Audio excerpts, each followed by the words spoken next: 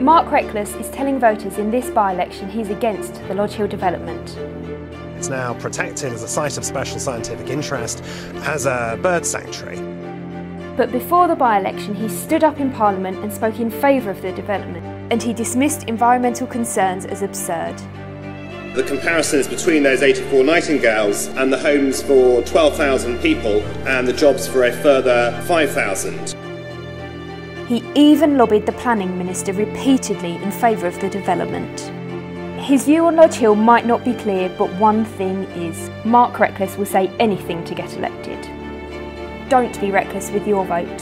Vote Conservative on the 20th November.